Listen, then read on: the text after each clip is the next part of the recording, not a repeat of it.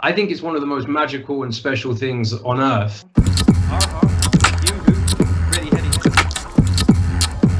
Hello, um, my name is Reeps. I am one of the sort of leading beatboxers on the planet, and you can think, okay, so why why is beatboxing important? It's actually how we push the human voice as far as we possibly can. There's so much music stored in your voice, and you can use that to to share who you are and your personality without saying a single word. What we're going to do here today is we're going to connect voice, we're going to connect performance and art with our understanding of grief.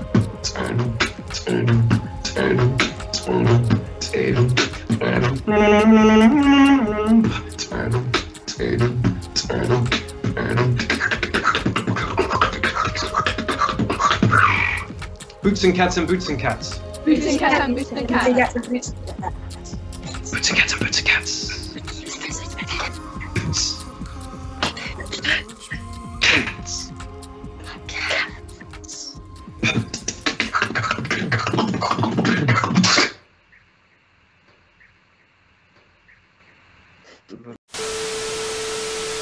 So you guys are part of a choir, is that right? Yes. I joined choir because like I was really I was very young. We were all very young when we lost our dad, so uh, we were really confused and really upset. And I feel like choir really helped us express our emotions and just meeting people that have been through what we have. When it comes to expression and performance, could you help people understand how performance feels when it comes to expressing grief? Music just like for me it just expresses like what words can't say and it also helps like explain things and like make go let, let you go into like your own little world and stuff. When I first joined, I was really confused about why we were doing music, and I was like, I'm not sure if this will help me or not. But then when I discovered what, you know, we weren't just doing music, it was, you know, it was like a feeling deep down. It just, you know, it just feels different. It doesn't just feel like music. It feels like you're accomplishing, like, it's like being an astronaut. It takes a lot of training, you know? It feels like that. It feels like you're accomplishing something big like that every step you take. Was there any emotion or, or feeling that you think you could release in a way that you couldn't, in maybe from talking or speaking to people? Yeah, like I think in a way singing kind of made me release every, all the tension inside. Because sometimes you know talking to someone may be a bit more uncomfortable. So like kind of sometimes singing can letting it out, and then you kind of like for yourself, and you know everything is fine, and people around you there to support you. And then you're singing for that person who is not there anymore. It's kind of the way you connect with them. Yeah, it's um, any way to kind of share and get things out because that's something that I struggle with sometimes. Sometimes I find it hard to share my feelings and my emotions. Um, I feel like sometimes people expect me to like know what to say all the time, and actually, it can be so much simpler with with music. I don't know if you guys agree with that. Sometimes, if you're just a part of something, you're able to to get something off your chest and and yeah, it can it can feel it can feel very uh, sort of hard for people to understand when you're going through something difficult. And I don't know, do you feel, have any of you guys ever felt that it's hard for people to understand your grief journey? Yeah. Yeah. You know? Yeah. How could you make someone understand this idea of of a grief journey, like explaining how it feels to to accept death and bereavement, um, and the fact that that is a never-ending journey? Obviously, you can't erase everything that happened to you. Like that's not possible right now. It might be later. Um, but um, there's like it's always just gonna be there. Like any- anything, little little things remind you of it every day. And even if you're feeling much much better uh, than you were, um, you're always still gonna, you know, it's still gonna be there like always. And it's gonna be hard to think I'm gonna live my life knowing this, but then it's something to be proud that you're going through. Yeah. Like with my experience, I've kind of like there have been people who asked, and I don't necessarily ignore it or tell people like to go away. I just tell them, and I want them to understand because there's many people across the world who feel that way that people don't understand how they feel and I want people to feel it's fine to speak to people about it, speak to people you trust, and kind of talk to people about because there'll be that stage in life you lose someone you love and speaking to people can make it that bit easier. When I speak to people, yeah, I did say I lost someone that I loved. I lost my dad, and I tell them and I let them understand because I think it's important that you have that awareness, and ignoring it can kind of make it seem like a weakness. And I don't believe that lo- losing grief, um, losing someone and going through grief is a weakness. I believe that with that you can speak to people, you can feel stronger. I, I agree. It's not a weakness. It's kind of like a character build. Because that's what my mum always says to me. Don't don't think of it as like a, a weakness. Think of it as like an advantage. So you'll be stronger next time you are faced with trauma. I think advice is such a key thing. We can we can give advice to each other and sometimes we think what we're going through is just us and we think it's something that only we experience. But actually those feelings those ideas when you share them with another person sometimes we have no idea how life changing that can be. What would you think is the best piece of advice you've got about grief and bereavement that you would like to share with the world? Don't expect to just have like one big jump that'll get you just past grief because you need to know that it's going to be there for your whole life and you won't really get over it.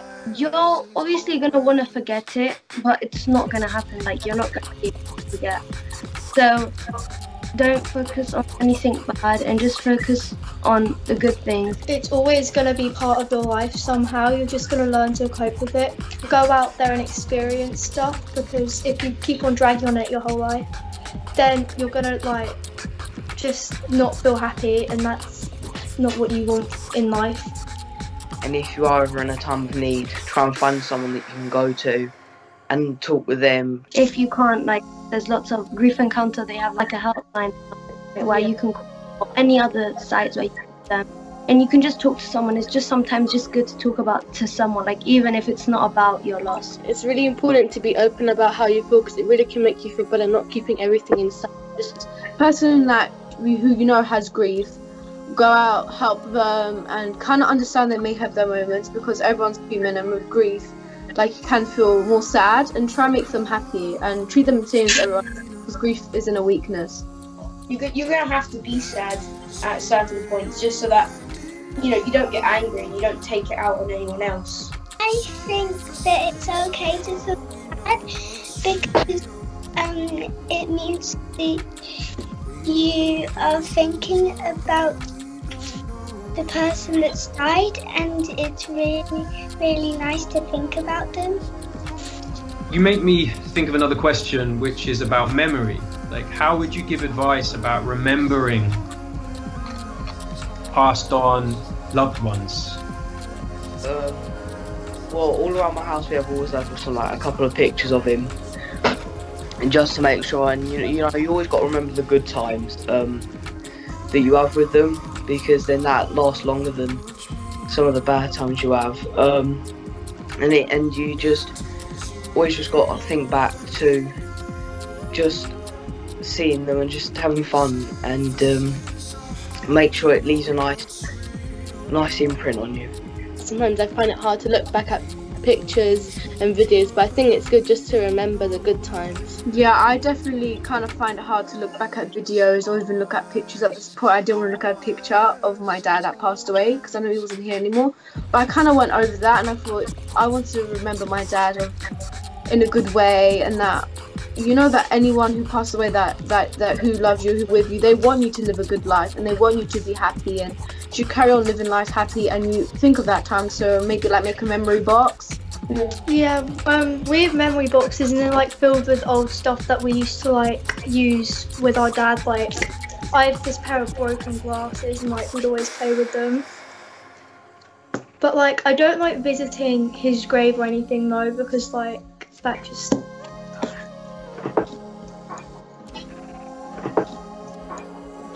Well, I feel it's it's okay to find things difficult, right? Like there's there's wins and then there's things that are that kind of maybe hold things in place, but it's a, it's a it's a journey that's allowed to to occasionally have a, a step backwards, but moving forwards, like moving upwards. I think th- these are the key ideas, and to hear about music, to hear about memory boxes, conversations, like people being respectful, understanding that it's okay to talk about these things. Um, it's okay to be proud of moving forward. You should all be so proud, and there is such an exciting journey ahead. And I hope we can meet up in person and make some art and music at some point. Is that is that something you might be interested in?